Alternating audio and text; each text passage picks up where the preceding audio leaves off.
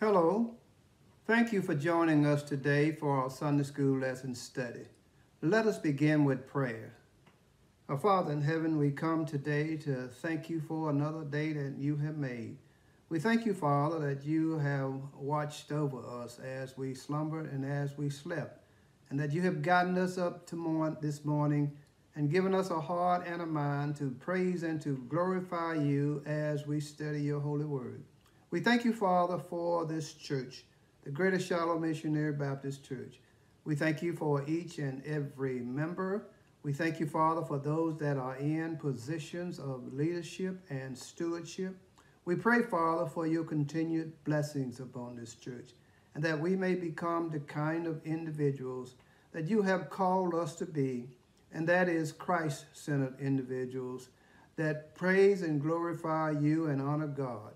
We thank you, Father, for your darling Son, Jesus. We thank you for his life, his death, his burial, and his resurrection.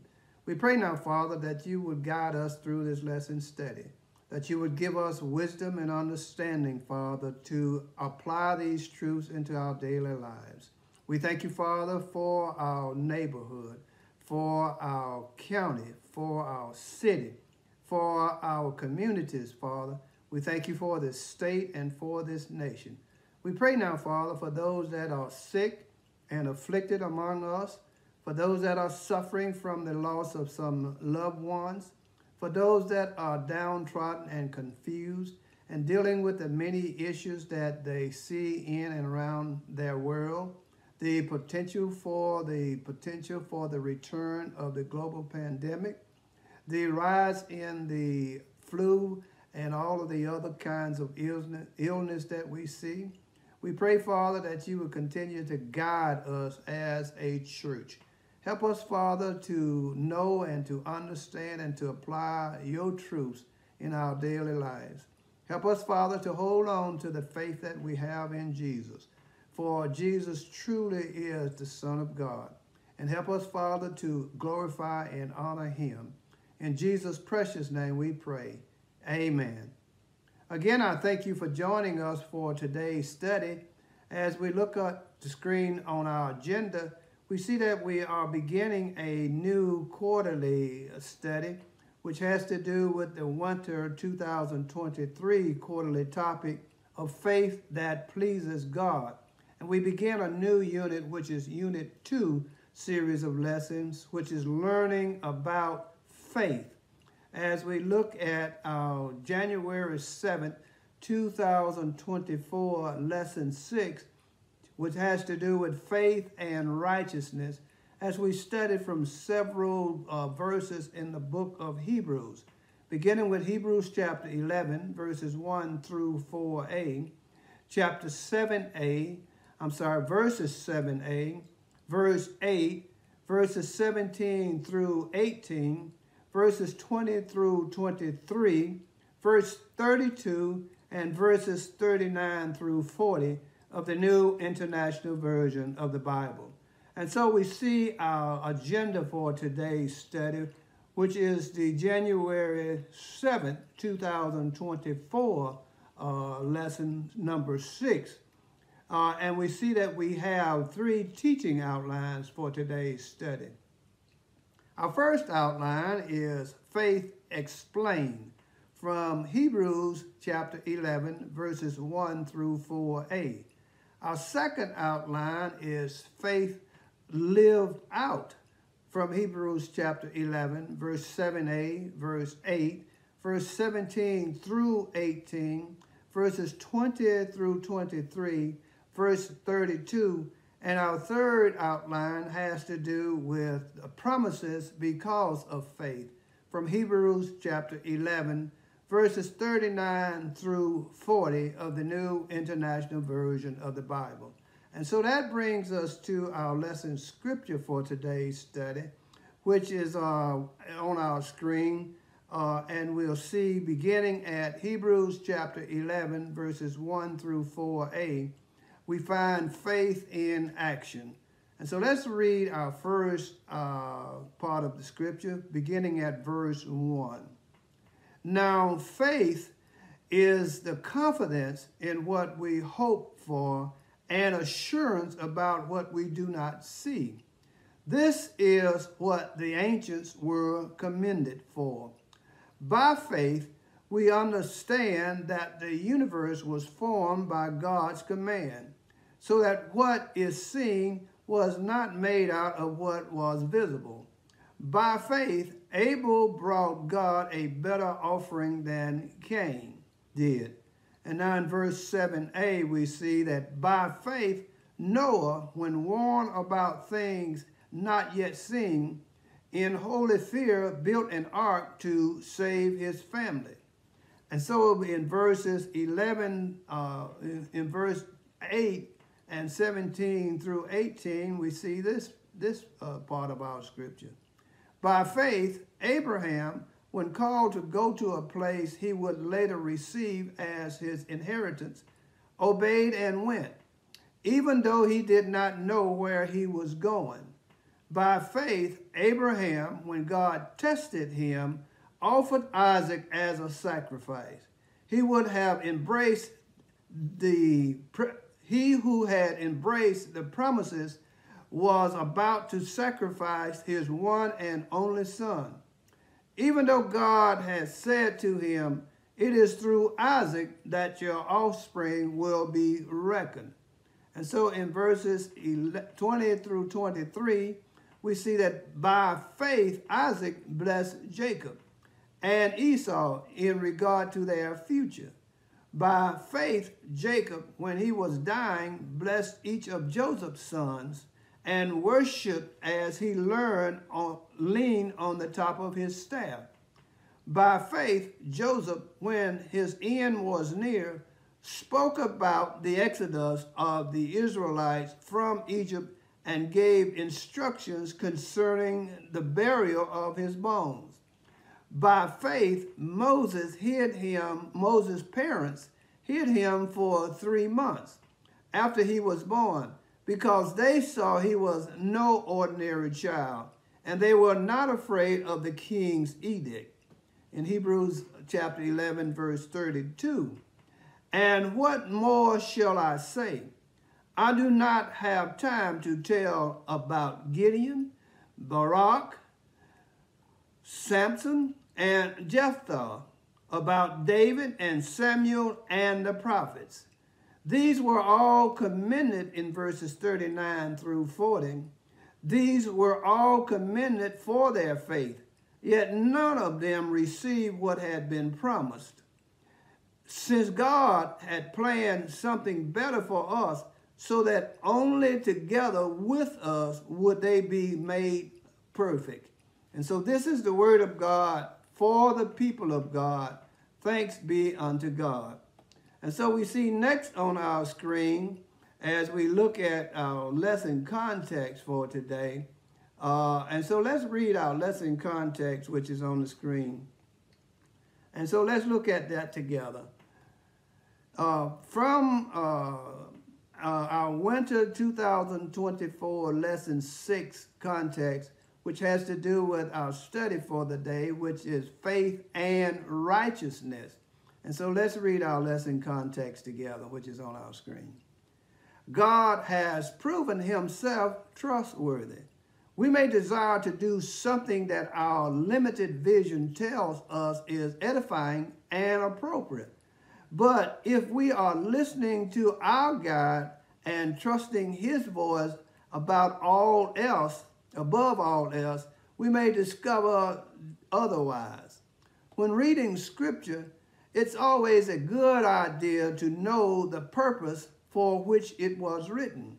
The natural approach is to look for a clear uh, uh, purpose statement, such as in Luke's Gospel, chapter 1, verses 3 and 4, and John's Gospel, chapter 20, verse 30 through 31, which I quote in verse 30 and 31.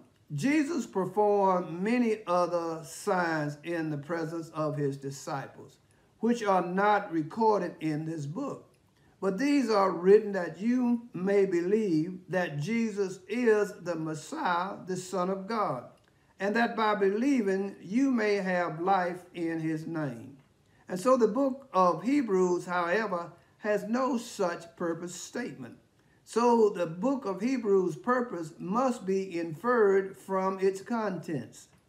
The extended comparison and contrast of Jesus with Old Testament personalities, the Levitical priesthood, angels, etc., signify the purpose of being to encourage wavering and persecuted Christians of Jewish background to stand firm in Christ and not retreat into Judaism.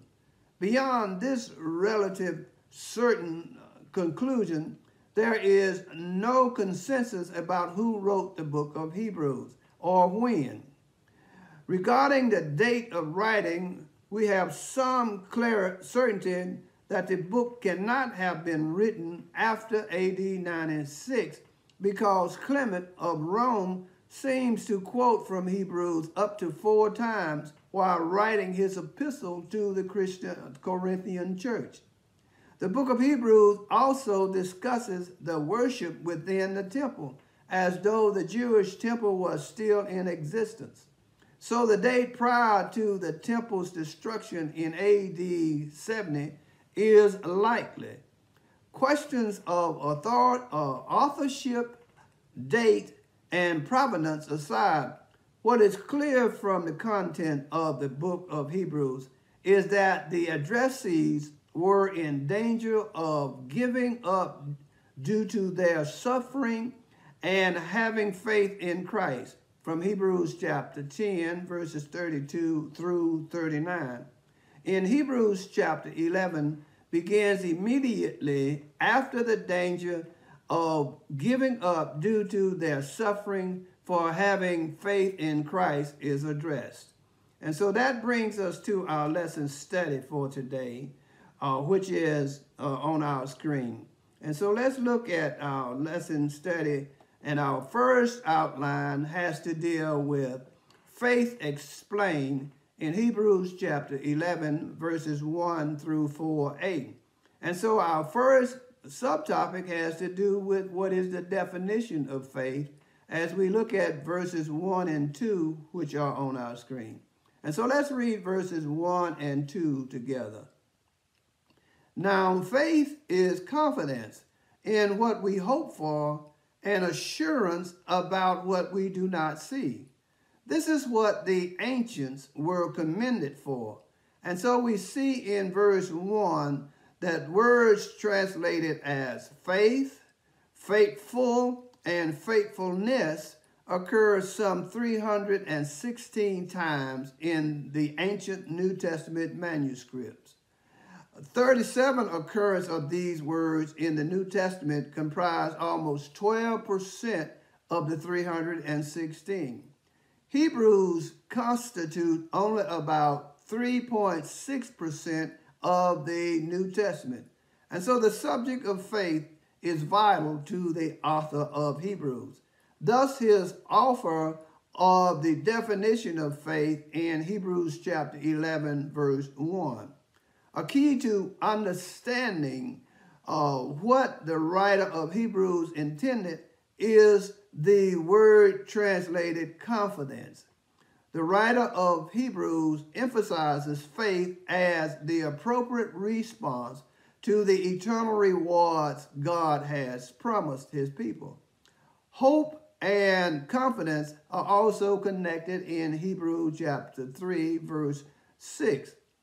Assurance is to be understood in the sense of verification or certain persuasion. The phrase, what we do not see, more precisely describes the desired result of our hope.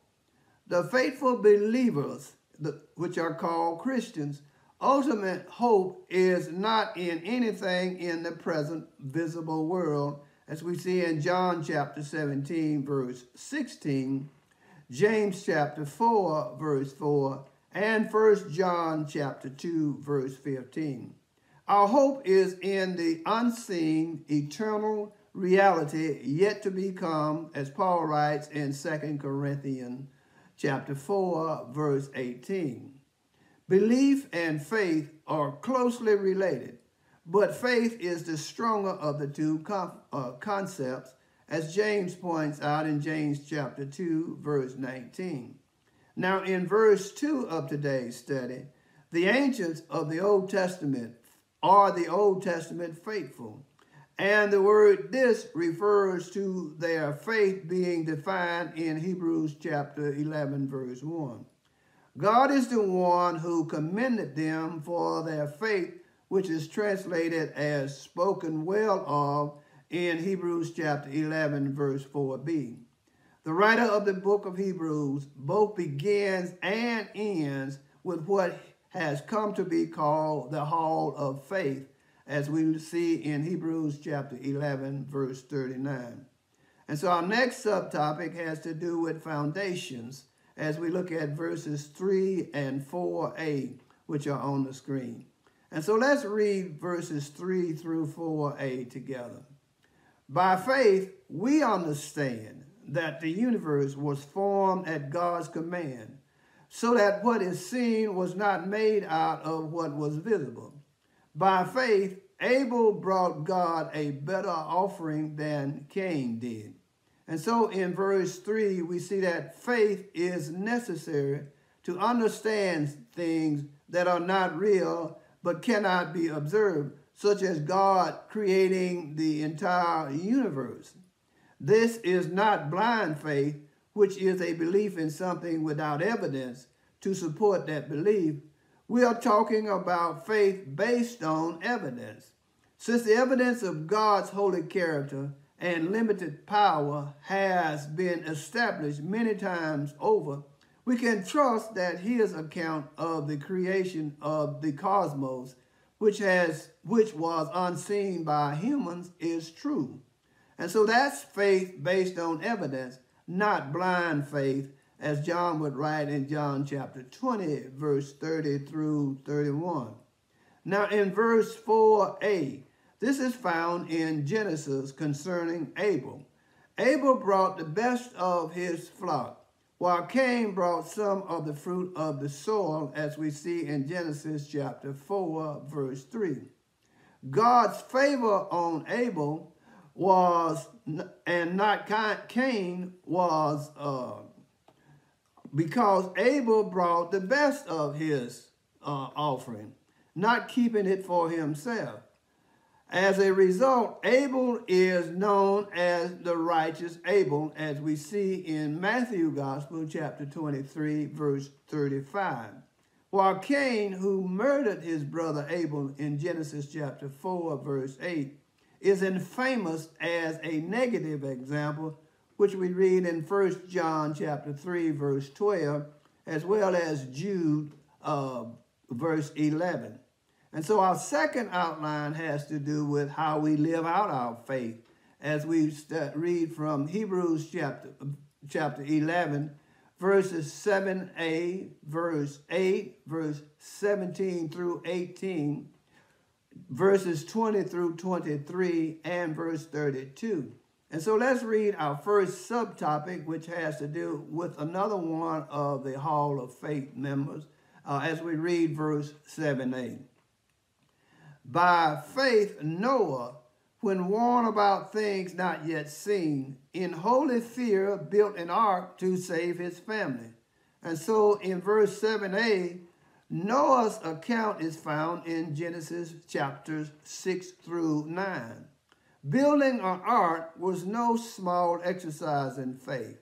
The phrase that things not yet seen is connected with our topic for today in Hebrews chapter 11, verse 1, which is the definition of faith.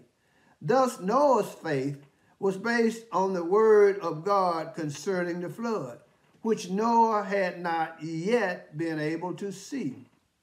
A holy fear of God that directs our actions, our speech and thoughts is an appropriate uh, response today as it was for Noah. Jesus said, Fear him who, after your body has been killed, has authority to throw you into hell. Yes, I tell you, fear him, from Luke's Gospel, chapter 12, verse 5. And so our next subtopic is uh, topic that has to do with another one of the members of the Hall of Faith in Abraham, as we look at verses 8 and verses 17 through 18. And so let's read verses 8 and verse 17 through 18, which is on our screen. By faith, Abraham, when called to go to a place he would later receive as his inheritance, obeyed and went, even though he did not know where he was going. By faith, Abraham, when God tested him, offered Isaac, his only son, as a sacrifice. He who had embraced the promises was about to sacrifice his one and only son. Even though God had said to him, It is through Isaac that your offsprings will be reckoned.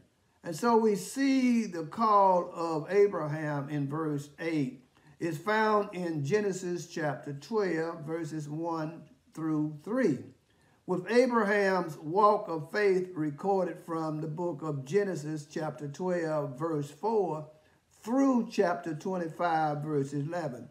We can also compare Acts chapter 7, verse 1 through 7, as Stephen speaks to the Sanhedrin council. Abraham trusted the unseen, invisible God rather than the visible, fictitious gods or the idol gods of the Chaldeans, which was from his culture. And he did so as he departed for an unknown land several hundred miles distance. Considering that Abraham was the man who believed the Lord, and he credited it to him as righteousness in Genesis chapter 15, verse 6, it is certainly fitting that Abraham is included in what is called the list of Hall of Faith. That doesn't mean that Abraham never sinned, which we see he did in Genesis chapter 16, verses 3 and 4. Also in chapter Genesis chapter 12, verses 12 through 13, as well as Genesis chapter 20, verse 2. As we consider the faith walk of several members of the Hall of Faith, we will remind ourselves this, that they were not without flaws, because the Bible also tells us that all have sinned and come short of the glory of God. And so now we look at another one of the members of the Hall of Faith as we look at Isaac in verse 20. And so let's read verse 20 together, which is on our screen. By faith, Isaac blessed Jacob and Esau in regard to their future. Uh, so we see now in verse 20 that Isaac was born in about 2067 BC. He grew up to become the father of Jacob and Esau, which was twins that was born in about 2007 BC. Isaac, like his father Abraham, was something of a mixed bag of character traits. Isaac obeyed God by faith, as we see in Genesis chapter 26, verses 1 through 6, which is the original text. But Isaac also adopted his father's practice of deception in Genesis chapter 27, verse 7. Isaac was also guilty of the parental error of favoritism in Genesis chapter 25, verse 28. Now, God sometimes uses people in his service despite themselves because God is sovereign and he can do whatever he wants to do whenever he gets ready to do it with whomever he wants to. And so Jacob and Esau were born to Isaac and his wife Rebekah. The family wrestled with the sin of deceit and favoritism as we see in Genesis chapter 25, verse 28, and chapter 26, verse 7. And so when it appeared that God's plan might be in danger as a result of these situations that deal with these people that are flawed, the writer of the book of Hebrews reminds us that God was still at work. Isaac blessed his sons, Jacob and Esau, and he was looking forward to how God used them in his plan of salvation for the world, as we see in Genesis chapter 27, verses 27 through 40. And so Jacob is mentioned before Esau because it was assumed that through the lineage of Jacob that the promise would be fulfilled in Christ. And so now we look at Jacob in verse 21 another member of the Hall of Faith that recorded in the book of Hebrews, chapter 11. And so let's read verse 21 together. By faith, Jacob, when he was dying, blessed each of Joseph's sons and worshiped as he leaned on the top of his staff. And so we see in verse 21 uh, that Hebrews chapter 11, verse 21, is derived from Genesis chapter 47, verse 31, where we uh, find the account of Jacob and and his sons, uh, and, uh, and, and uh, Isaac and his sons, Jacob and Esau. And so when Jacob blessed each of Joseph's sons, he essentially adopted them as his own sons. As a result, two of the 12 tribes of Israel descended from the tribe of Ephraim and Manasseh, which was Joseph's son, in Joshua chapter 14, verse 4. And so Jacob's faith here is evidenced by his worship of God, which he continued to do until his until he died, uh, all the way up until on his deathbed. Jacob's sins, though, also involve deception in Genesis chapter 27, verses 18 through 24, as well as manipulation in Genesis chapter 25, verses 29 through 33. Also in Genesis chapter 30, verses 37 through 43. And favoritism in Genesis chapter 37, verses 3 and 4. But the Lord used Jacob in service for himself, nevertheless. In other words, even though these so-called uh, faithful people that's listed in the book of Hebrews chapter 8, I'm sorry, chapter 11, which is called the Hall of Faith, they were not flawless, but God nevertheless used them in his perfect plan to bring about salvation to the world. And so next we look at verse 22, which has to deal with Joseph. And so let's read verse 22, which is on our screen. Excuse me. By faith, Joseph, when his end was near, spoke about the exodus of the Israelites from Egypt and gave instructions concerning the burial of his bones. And so we see in verse 22 that in Hebrews chapter 11, verse 23, it reiterates from it reiterate what is said in Genesis chapter 50, verses 24 through 26. About 1899 BC, Joseph's brothers sold him to the Ishmaelites when Joseph was about 17 years old. In turn, the Ishmaelites sold Joseph into Egyptian slavery in Genesis chapter 37, verse 2 and verse 28. At the age of 30, Joseph had been appointed second in command in Egypt, and that he became the prime minister of Egypt in Genesis chapter 41, verse 46.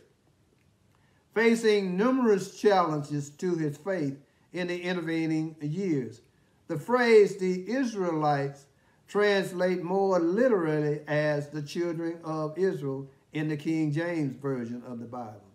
We may think of Israel as the organized nation it would become 430 years later after the Exodus in Exodus chapter 12, verse 40 through 41. But Israel really refers specifically to Joseph's father, Jacob, whose name had been changed from Jacob to Israel who had his name changed to Israel by God in Genesis chapter 32, verse 28, and Genesis chapter 35, verse 10, as well as Genesis chapter 46, verse 8. Thus, speaking of Jacob's family, rather than a fully formed nation. In other words, this particular verse is talking about the family of Jacob and how it, the, they are fulfilled God's promise that he made through Abraham, Isaac, and Jacob.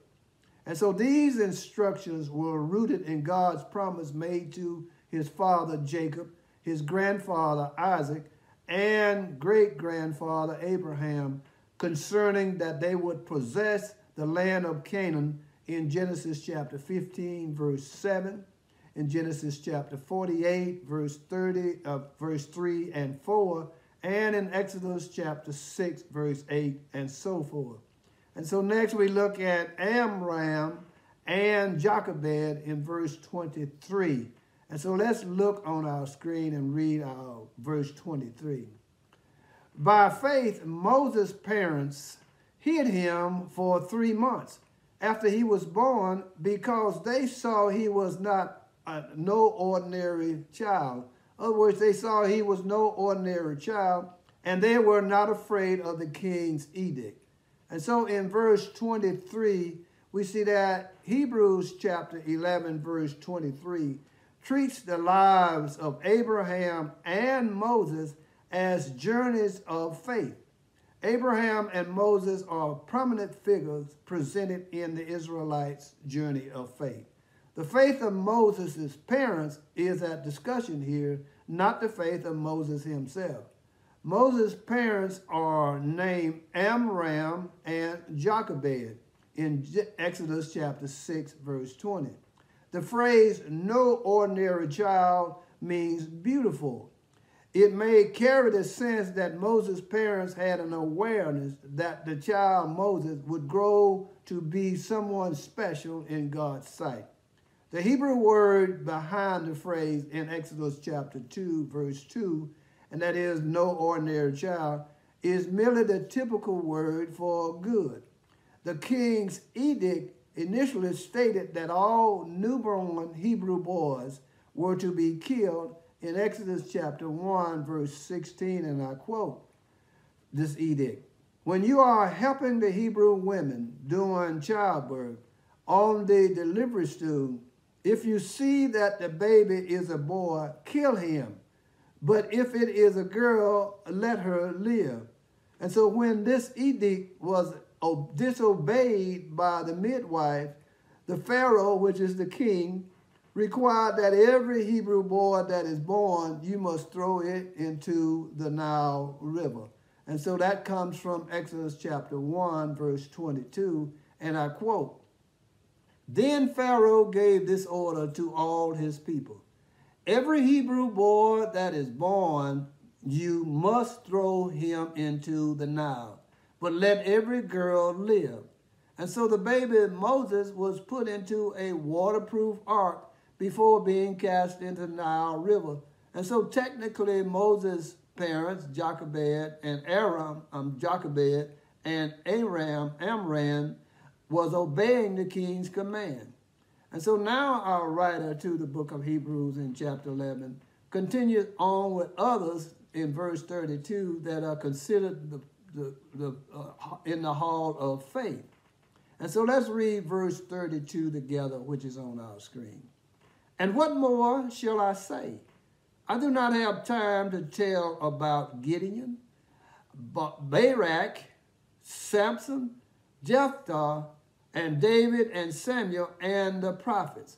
And so now in verse 32, these examples of faith continue through the centuries of the Old Testament scripture uh, and continue through what is called the Hall of Faith. The story of Gideon is found in Judges chapter 6, verses through chapter 8. Gideon served as a judge from 8, 11, I'm sorry, from 1192 BC to 1152 BC. Gideon is most notable for his 300-man force defeating the Midianite, the Midianite huge army. Barak, a contemporary of Deborah, who judged from 1239 BC to 1199 BC, raised an army to defeat the Canaanites in Judges chapter 4. Samson also served as a judge from 1075 BC to 1055 BC. Samson's opposition to the Philistine is found in Judges chapters 13 through 16. the leadership of Jephthah against the Ammonites is recorded in Judges chapters 11 and 12. Jephthah's judgeship extended from about 1086 BC to 1080 BC. The extensive record of David, who reigned from 10 to, uh, 10 to 970 BC, which was 40 years, runs from 1 Samuel chapter 16 through 1 King chapter 2. The ministry of Samuel, who is pivotal for being the last of the judges and the first of the prophets, is found in 1 Samuel chapter 1, uh, verse 1 through 25. And so these individuals of faith were not faultless. None of those was faultless. As a matter of fact, no one is faultless other than Jesus because the Bible says that all have sinned and come short of the glory of God.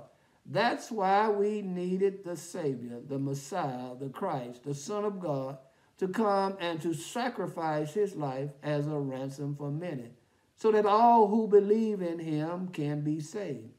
And so now let's look at our third outline, which is, has to do with promises because of faith, as we read from Hebrews chapter 11, verses 39 through 40 of the New International Version of the Bible. And so let's read our first subtopic of our third outline, which has to do not receive in verse 39. And so let's read verse 39. These were all commended for their faith, yet none of them received what had been promised. And so we see in verse 39 that Hebrews chapter 11, verse 39, repeats the thoughts of Hebrews chapter 11, verse 13, but in a condensed form. The word translated were all commended is the same as that in Hebrews chapter 11, verse 2, carrying the idea of having being witnessed, doing something through faith, since the faith of those considered looked ahead to the arrival of Jesus, which did not come about in their lifetime. None of them received what had been promised, and that was the promise of a Messiah, or that one would come one day down through the lineage of Abraham, Isaac, and Jacob. And that would be God's eternal king that would sit on David's throne. We can contrast that with Matthew chapter 13 in verses 16 and 17. But they still had faith nonetheless. And so now we see our next verse, which has to do with verse 40 of Hebrew chapter 11, because God had something perfect planned for them. And so let's read verse 40. Since God had planned something better for us, so that only together with us would they be made perfect. And so we see in verse 40 that the phrase God had planned something better is the promise fulfilled in the earthly mission of Christ. Both we and they, and we're talking about those that are listed in Hebrew chapter 11 in this hall of faith, are made perfect in Christ's suffering, which we see in Hebrews chapter 2, verse 11, as well as Hebrews chapter 5, verses 8 and 9, and Hebrews chapter 7, verse 28. And so the word therefore really begins or introduces the next verse, which is Hebrew chapter 12, verse 1. And I quote Hebrew chapter 12, verse 1. Therefore, since we are surrounded by such a great cloud of witnesses, let us throw off everything that hinders and the sin that so easily entangle us. And let us run with perseverance the race marked out for us. And so the writer of the book of Hebrews prepares the reader to relate the Old Testament Hall of Fame to themselves because we too are running a race of faith. Our life is examples and should be examples of our faith and our trust in God, whom we have not seen, but we have confidence that he exists. Because the Bible says uh, that without faith, it is impossible to please God. And so let's close our lesson study today with this conclusion. The faith of imperfect people, which are we, we are imperfect people. Is there anyone that you can think of that's perfect? No, not one other than Jesus Christ. And so let's read our conclusion. The writer of the book of Hebrews selected some very faithful people as examples, people who also had some significant imperfection. We are to walk faith and not sight, as Paul would write in 2 Corinthians chapter 5, verse 7. And this should be easier for us than for the Old Testament luminaries. They live with the cross and resurrection as accomplished facts in 1 Peter chapter 1 verse 12. But although we are privileged to see much more of God's plan fulfilled, some promises remain to be fulfilled, such as a resurrected body that we will receive one day, a new heaven that we will enter one day, a new earth that will exist one day, and etc. All things that God has promised his people who by faith continue to obey and to trust in him.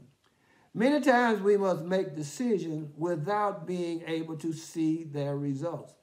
A faith-based decision is based on believing the promises of God and determining to do what God has called you to do, regardless of how it might look in your eyes or the eyes of others. May the Holy Spirit empower us to do so. And so we close our lesson with this thought to remember. Faith overrides imperfection. Paul would write in 2 Corinthians chapter 5 verse 7 that we live by faith and not by sight. So let's close with prayer. Father in heaven, we thank you for today's study. As we have looked in the book of Hebrews chapter 11, and we have read briefly about those that were in the so-called hall of faith, that put their trust and their faith in God concerning the promises that he made, even though they did not see the fulfillment of these promises.